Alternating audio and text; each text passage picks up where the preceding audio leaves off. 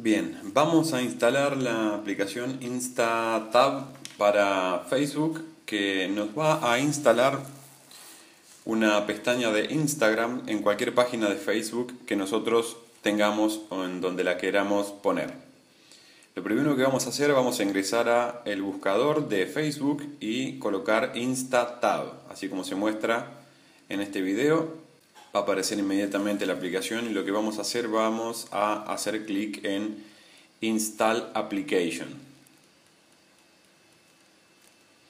Entonces se abre la aplicación InstaTab para que seleccionemos una página de Facebook en la cual queramos tener la pestaña de InstaTab y así poder tener Instagram en nuestra fanpage de Facebook. Yo voy a elegir la de experto de Internet. Vamos a añadir pestaña nos aparece el progreso de instalación de la aplicación InstaTab.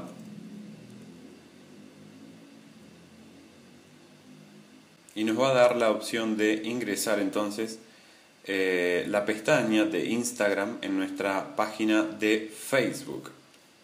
Vamos a tener inicialmente un usuario que no es el que vamos a usar nosotros, por lo que vamos a tener que poner el usuario que vamos a utilizar. Entonces yo voy a colocar eh, el usuario de Instagram, mi usuario de Instagram, en donde también publico cosas de experto de Internet. Es un Instagram personal, pero publico cosas muchas de lo que hago en experto de Internet. Así que vamos a poner el, el username de Instagram. Voy a colocar Mauro Bernoco y vamos a salvar los eh, cambios. Save settings. A partir de ahí ya nos va a aparecer eh, todo el contenido que nosotros compartimos en Instagram, es decir, las fotos que vamos subiendo a nuestra cuenta de Instagram van a aparecer como una pestaña en nuestra página de Facebook, en la página que seleccionemos. A partir de ahí podemos eh, ingresar a los ajustes de la aplicación para poder cambiar la forma en la cual se ven las eh, imágenes o los las miniaturas de las imágenes, ven que ahí dice eh, thumbnail, puedes elegir quarter, small y normal.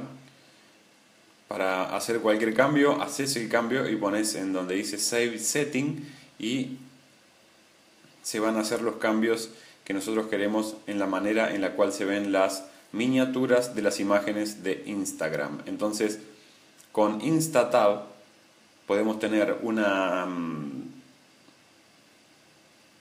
pestaña de Instagram en eh, nuestra página de Facebook y de esta manera los seguidores que tengamos van a tener muchísima más interactividad y van a conocer también el contenido que tenemos en Instagram sin necesidad de entrar directamente en la aplicación de Instagram. Entonces esto es muy bueno porque podemos conectar Facebook con Instagram mediante esta aplicación que se llama InstaTab.